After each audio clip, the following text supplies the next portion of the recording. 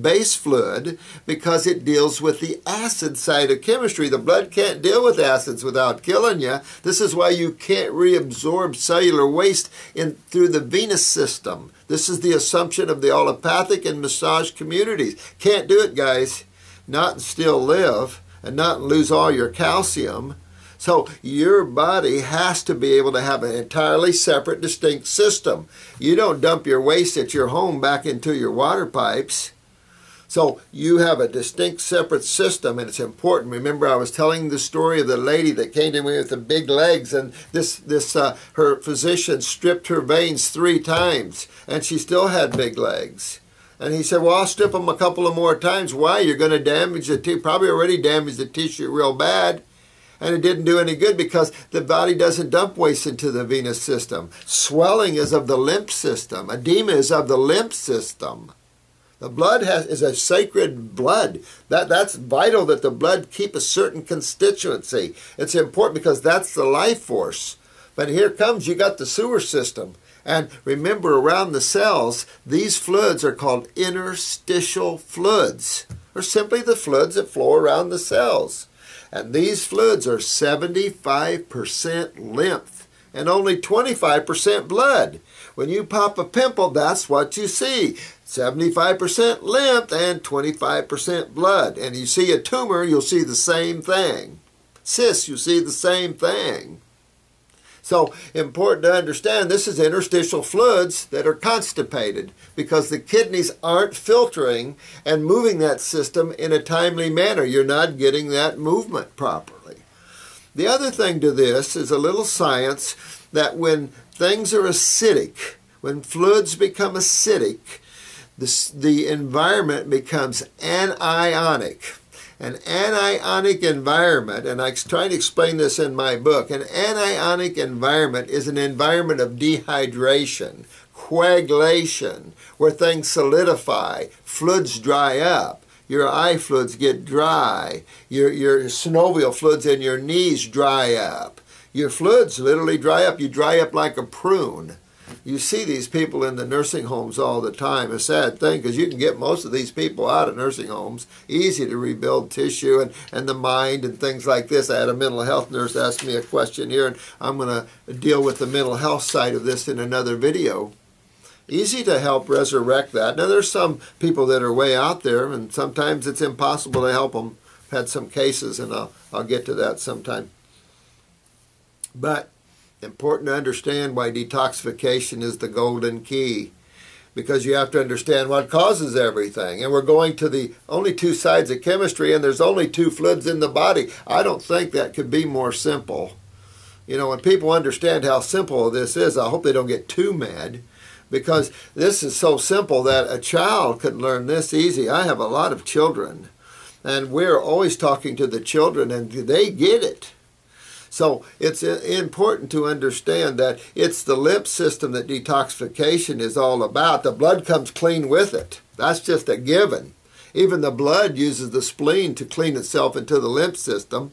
So the, the lymph system is very important to, to understand since it dominates as the main fluid of the body and it's a thicker mucousy fluid. Well, as this fluid becomes more anionic and more stagnant, it becomes like a stagnant uh, lake. Have you ever seen a lake that got stagnant and got thick palm scum on the top? Well, we could just clean that palm scum off and sell it back to you as blue-green algae. But, uh, you know, some people like to eat palm scum. That's okay, you know, but not my cup of tea to tell you the truth. I, you know, we, we get into all these bizarre things and I, these, these single-celled organisms and stuff like that and I always wonder why like urine therapy. You know, people get urine therapy and drink urine. It's like, you know, hope your kidneys are not filtering your cellular waste when you're drinking it because those are acids. And there's nothing healthy about acids, and particularly the byproducts of already metabolized nutrition. I, I, don't know. You know, there's some bizarre thinkers out there, and uh, I guess this is a planet that anything goes. so forgive me, but uh, maybe I'm just an old farm boy and just uh, you know, uh, constipated in my thinking, but uh, some of this stuff is just bizarre. I've never used anything like these. My whole thing is the focus and the health of cells. And the only way you're going to get that is through the two fluids. And through those two fluids and what you're eating and consuming, you can rebuild cells and remember them genetically. That's how simple it is. Bit of a process though. Detoxification can take you years. This idea of having two week detoxification, you ever see that run from that those people, or even six months? It takes you quite a while to move a lymph system. And if you've been a milk drinker in your life and a lot of cheese and dairy or yogurts, you could have a very uh, uh, heavy job ahead of you because this super uh, uh, clogs the lymph system in the body. I could show you pictures of, of what a dairy farmer looks like in their lymph systems inside their body and a non-dairy drinker, and it's, it's literally eye-dropping. It's just amazing the amount of work involved with someone that has a lot of dairy products in their lives, and moving their lymph system could take you years. So very serious issues.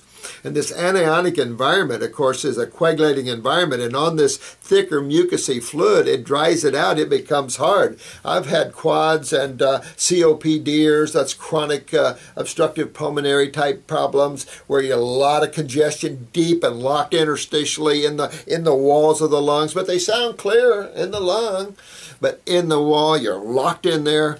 Uh, when this stuff breaks loose and comes out, particularly in the lower lobes, this can become thick. I've had a quad, she almost died. Matter of fact, she did code a couple of times in a hospital. I told them to don't use antibiotics, and well, they didn't care. So they gave her an antibiotic and she coded on them. But uh, it was trying to get this mucus out. It was thick and solid, like a belt and a rope. I've had lung cancer where they're just thick and hard to come out.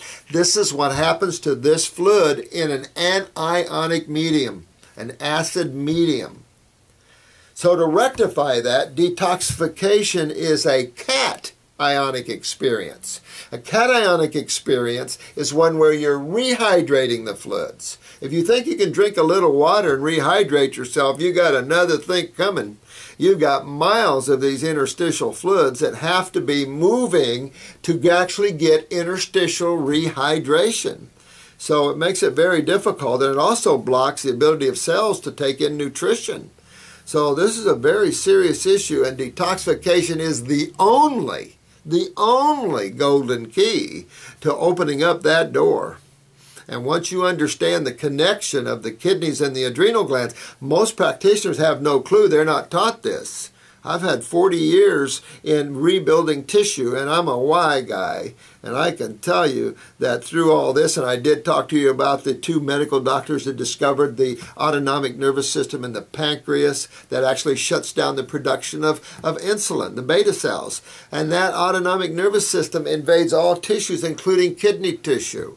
So you have to understand that a lot of these problems you face is neurological problems, but you go right back to the adrenal glands on top of the kidneys. It's an incredible view, and once I can put this all together for you, uh, and I'll keep trying to do that.